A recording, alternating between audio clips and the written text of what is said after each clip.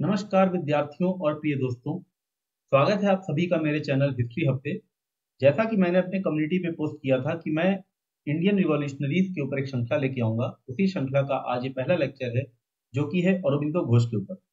अरबिंदो घोष एक महान विद्वान, सच्चे राष्ट्रवादी, महान मानवतावादी और आधुनिकता के पैगंबर माने जाते हैं। आज भी ज़्यादातर लोग उन्हें एक महान दार्शनिक या फिर योगी श्री अरबिंदो के रूप में याद करते हैं। पर उनके लाखों अनुयायियों को यह जानकर आश्चर्य होगा कि वह भारत के क्रांतिकारियों के संस्थापकों में से भी एक थे। तो चलिए जानते हैं उनके विषय में। इनका जन्म 15 अगस्त अठारह सौ बहत्तर में कलकत्ता में हुआ। उनके पिता डॉक्टर कृष्ण धुन घोष एक सिविल सर्जन थे। माता का नाम स्वर्णलोटा था और अरविंदो उनकी तीसरी संतान थे। माता पिता ब्रह्म समाज के अनुयायी थे। हालाँकि उनके जन्म के समय ब्रह्म समाज का समुदाय विभाजन के दौर से गुजर रहा था। एक तरफ़ मुख्य धारा के ब्रह्म समाजी थे, जो खुद को हिंदू सुधारक, यानी कि हिंदू रिफॉर्मर मानते थे, और जो इनकी माता का परिवार था, वो इसी खेमे का था। दूसरी तरफ़ केशव चंद्र सेन के नेतृत्व में एक समूह था, जो ब्रिटिश शासकों के साथ जुड़ने में सक्षम होने के लिए पश्चिमीकरण, यानी कि वेस्टर्नाइजेशन करना चाहता था। कृष्ण धुन जो थे, वो इसी समूह के सदस्य थे।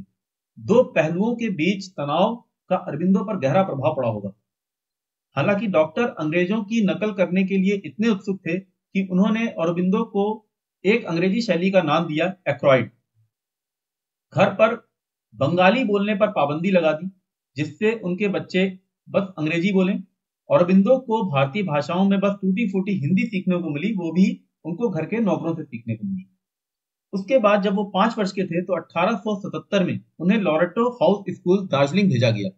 जहाँ उनकी प्राथमिक अंग्रेज़ी भाषा में शिक्षा दीक्षा हो सके अठारह में परिवार इंग्लैंड चला गया, जहाँ उनके भाई इमैनुअल मैथ्यू का जन्म हुआ, जिन्हें हम बारिन घोष के नाम से जानते हैं। उनके माता पिता उसी वर्ष उन्हें, उनके दो बड़े भाइयों, मनमोहन और बिनॉय घोष के साथ इंग्लैंड में, मैनचेस्टर में छोड़कर भारत वापस आ गए। उन्हें इंग्लैंड में एक अंग्रेज़ परिवार के साथ छोड़ दिया गया, जिन्हें निर्देश दिया गया था कि लड़कों को किसी भी भारतीय से परिचित होने या किसी भी भारतीय प्रभाव से गुजरने की अनुमति नहीं दी जानी चाहिए। इस प्रकार औरबिंदो अपनी मूल भाषा, संस्कृति या धर्म से लगभग बिना किसी तरह के संपर्क रखते हुए बड़े हुए। दिसंबर अठारह औरबिंदो किंग्स कॉलेज छात्रवृत्ति परीक्षा में बैठने के लिए कैम्ब्रिज गए और प्रथम स्थान हासिल किया। 1890 में वह क्लासिकल में डिग्री प्राप्त करने के लिए कैम्ब्रिज गए, लेकिन उनका असली उद्देश्य आईसीएस परीक्षा की तैयारी करना था, क्योंकि ये उनके पिताश्री की इच्छा थी। अपनी तैयारी के लिए उन्होंने संस्कृत, बंगाली, हिंदू और मुस्लिम रीति रिवाजों और ब्रिटिश नागरिक और आपराधिक प्रक्रियाओं को सीखना शुरू कर दिया। यह पहली बार था कि उन्होंने अपने मूल देश से संबंधित कुछ भी सीखा था। हालाँकि शुरू में उन्हें संघर्ष करना पड़ा, लेकिन अचानक अपनी संस्कृति के संपर्क में आने से उन पर उस युवा अवस्था में बहुत ही गहरा प्रभाव पड़ा।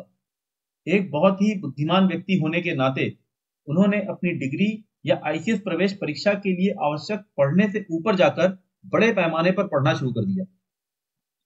मई अठारह में आईसीएस की प्रारंभिक परीक्षा उत्तीर्ण उत्तीर्ण करने के बाद वे मुख्य परीक्षा देने के लिए लंदन चले गए और कैम्ब्रिज के विपरीत लंदन में छात्रों सहित सभी वर्गों का एक महत्वपूर्ण भारतीय समुदाय था।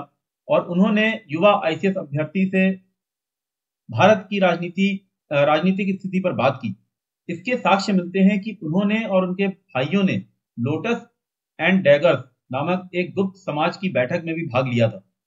अक्टूबर अठारह में उन्होंने घुड़सवारी परीक्षा देने से इनकार कर दिया, जो अनिवार्य और अंतिम औपचारिकता थी और उन्हें इस कारण आईसीएस की सूची से हटा दिया गया। जिसकी वजह से इनके पिताजी को बहुत ही गहरा सदमा लगा और उनकी अचानक मृत्यु हो गई। लेकिन बड़ौदा रियासत के शासक महाराजा सयाजी राव गायकवाड़ तृतीय, जो उस वक्त लंदन में ही थे, उन्होंने अरविंदो से मुलाकात के बाद उन्हें अपनी ही रियासत की एक सिविल सेवा के लिए नौकरी पर रखा। बड़ौदा के शासक ने उस युग के कई प्रतिभाशाली भारतीयों को उदार वित्तीय सहायता प्रदान की थी, जिसमें बी आर अंबेडकर और अरविंदो घोष दोनों ही शामिल थे। इस प्रकार जनवरी अठारह सौ तिरानवे में औरबिंदो 14 साल के बाद भारत वापस आए। औरबिंदो प्रशासन के लिए एक सक्षम अधिकारी थे, लेकिन उन्हें यह काम बहुत आकर्षक नहीं लगा, इसलिए वो अपना जो खाली समय था, वो पढ़ने में बिताने लगे, जिसमें प्राचीन हिंदू महाकाव्यों से लेकर समकालीन राजनीतिक तक सब कुछ शामिल था, जिसके माध्यम से वह स्वयं को भारत से परिचित करा रहे थे। लेकिन इसके बाद केजी देश पांडे के अनुरोध पर उन्होंने बॉम्बे में प्रकाशित साप्ताहिक पत्रिका इंदु प्रकाश के लिए लिखना शुरू किया। और ये पहली बार था जब अरबिंदो ने राष्ट्रीय मुद्दों पर अपने विचार व्यक्त करना शुरू किया था। न्यू लैम्प फॉर ओल्ड नामक एक श्रृंखला में उन्होंने अंग्रेज़ों द्वारा दी गई महत्वहीन रियायतों से खुश होती कांग्रेस का मज़ाक उड़ाया। उन्हें प्रशासनिक कार्य उतना आकर्षक नहीं लगा और उन्होंने बड़ौदा कॉलेज में हर हफ़्ते कुछ घंटे फ्रेंच पढ़ाने की आज्ञा महाराजा सयाजी सयाजी से प्राप्त कर ली।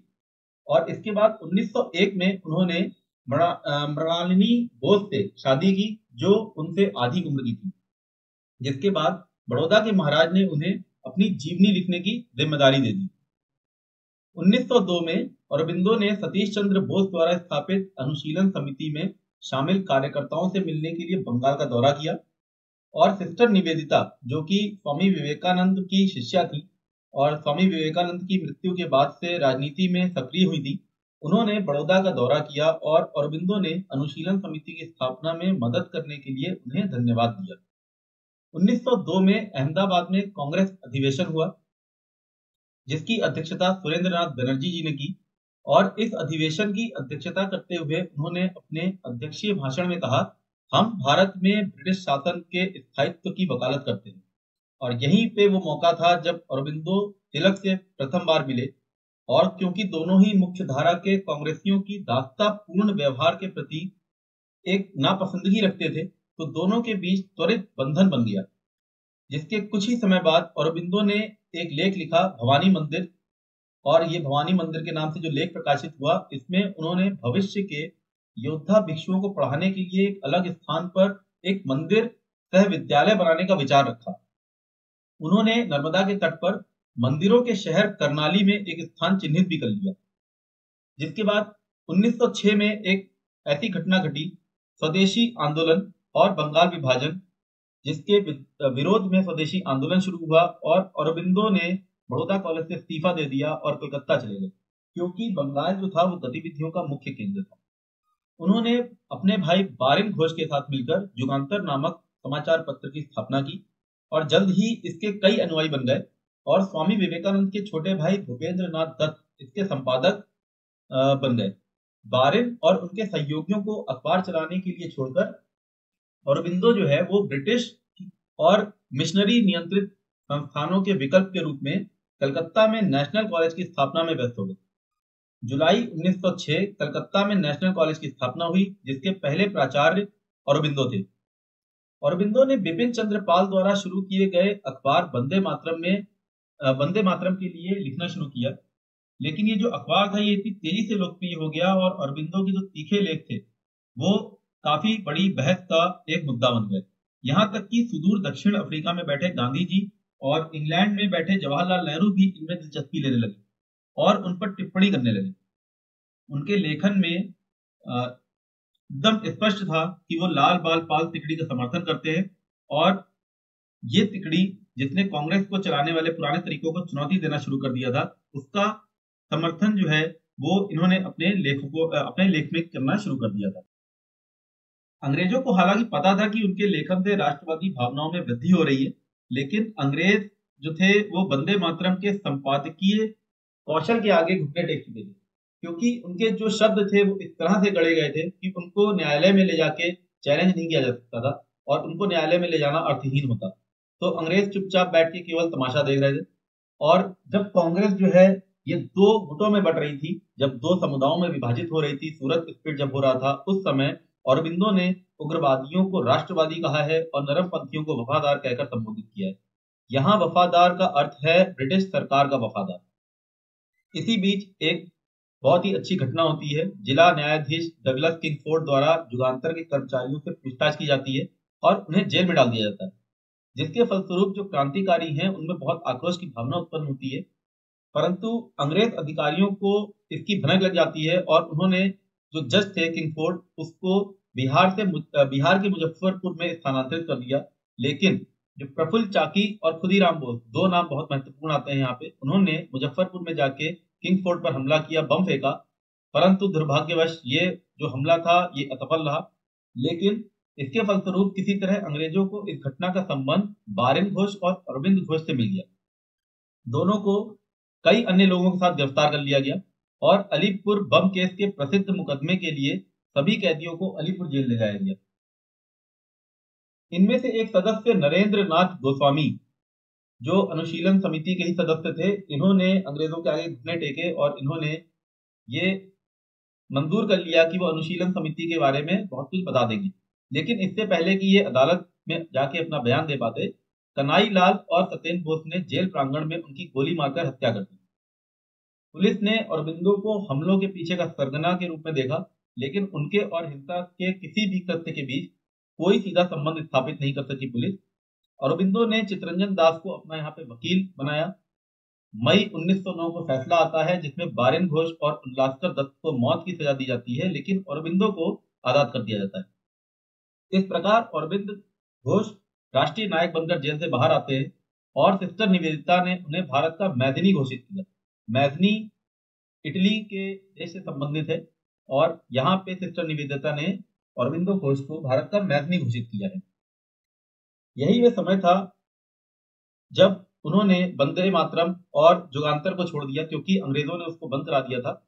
और अरविंद ने जून 1909 में एक नया अखबार कर्म योगिन शुरू किया, जिसके बाद उन्होंने अपना महत्वपूर्ण भाषण, जिसको हम उत्तर प्रवाह के नाम से जानते हैं, वो उन्होंने दिया। और यह उनका पहला सार्वजनिक संबोधन था और उन्होंने आध्यात्मिकता के बारे में यहाँ पे बात की। फरवरी 1910 ब्रिटिश अधिकारी उनके खिलाफ एक नया वारंट जारी करने वाले थे, जिसकी उन्हें भनक लग गई और इसलिए उन्होंने चंद्रनगर में फ्रांसीसी एनक्लेव में जाके शरण ले ली। यहाँ औरबिंदो को स्थानीय अनुशीलन समिति इकाई द्वारा छिपा कर रखा गया और ये वही समूह था जिसने अलीपुर जेल में रिवॉल्वर की तस्करी की थी, जिससे नरेंद्र नाथ गोस्वामी की हत्या की गई।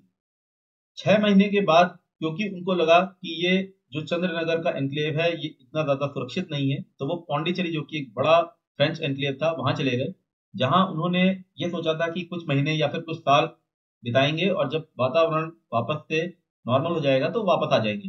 हालाँकि जैसे जैसे महीना बीतता गया, वह लगातार आध्यात्मिक, धार्मिक और सभ्यता विषयों की खोज की ओर बढ़ते चले गए, लेकिन उन्होंने भारत की राजनीति की तरफ़ मुड़ के सक्रिय रूप से कभी नहीं देखा। हालाँकि ज़रूर उन्होंने घटनाओं के ऊपर नज़र बना के रखा, लेकिन उन्होंने वापस राजनीति में सक्रिय भाग, भागीदारी नहीं निभाई इसके बाद। उनका राजनीतिक जीवन यहाँ पे समाप्त हो जाता है, लेकिन उनका आध्यात्मिक जीवन यही पौंडीचेरी से शुरू होता है। उनके कुछ अनुयायियों को निराशा ज़रूर हाथ लगी। कईयों को उम्मीद थी कि वो वापस लौट आएँगे, लेकिन औरबिंदो घोष श्री औरबिंदो बनने की राह पर निकल पड़े थे।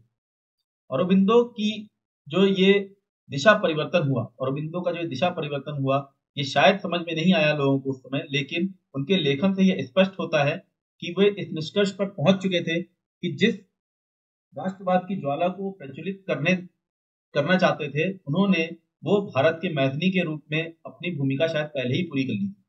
हालाँकि उन्हें यह भी लगा कि भारत को एक और महत्वपूर्ण सभ्यतागत लड़ाई लड़नी होगी, जो राजनीतिक स्वतंत्रता प्राप्त करने से कहीं अधिक कठिन हो सकती है। यह उनकी अद्भुत दूरदर्शिता को ही दर्शाता है, क्योंकि यदि हम आज की राजनीतिक स्वतंत्रता के बाद साढ़े सात दशक से अधिक समय बीत जाने के बाद अगर हम आज की स्थिति का भी आकलन करें तो यह समकालीन भारत में एक बहुत बड़ी बहस का विषय बना हुआ है। इसे ध्यान में रखते हुए अरविंद, अरविंदो घोष ने सबसे प्राचीन और पूजनीय हिंदू ग्रंथ ऋग्वेद का गहन अध्ययन किया और अरविंदो घोष से योगी अरविंदो का सफ़र शुरू कर दिया। उनके इस सफ़र की शुरुआत के साथ मैं आज का अपना विषय समाप्त करता हूँ। यदि श्री अरविंदो के राजनैतिक विचार को जानना हो तो ज़रूर कमेंट करें। अगला सत्र मैं उस विषय पर ज़रूर रखूँगा। उम्मीद करता हूँ आपको आज का विषय पसंद आया होगा, जो आप लाइक कमेंट और इसको अपने साथियों के साथ साझा करके मुझे बता सकते हैं। तो मिलता हूँ मैं अपने आपसे अगले लेक्चर में, तब तक के लिए धन्यवाद।